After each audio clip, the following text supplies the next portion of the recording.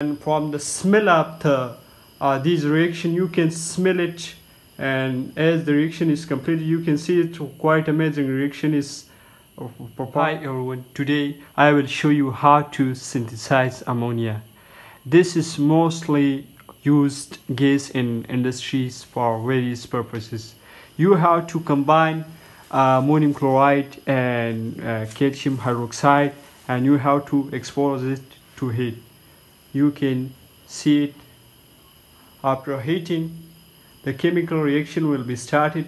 You have to heat it gently. You can smell it and as the reaction is completed you can see it. Quite amazing reaction is as the gas is spam you can see it. So due to the gas formation ammonia formation this is uh, going to up upward direction. The pole smelling can show presence of ammonia. For watching this video and don't forget to subscribe